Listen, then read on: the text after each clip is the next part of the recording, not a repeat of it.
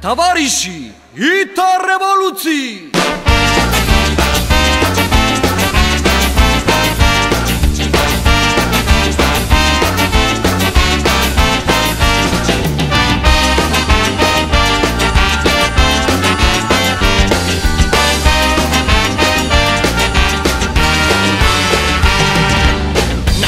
Recuerda del 17 a principios del siglo XX, cuando el vodka despertó en una revolución.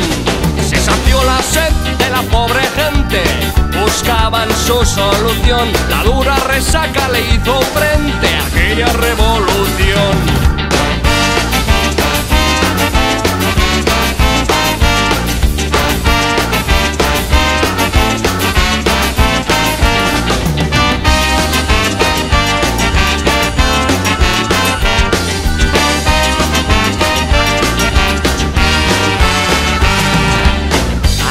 hace poco era muy lucida esa bandera.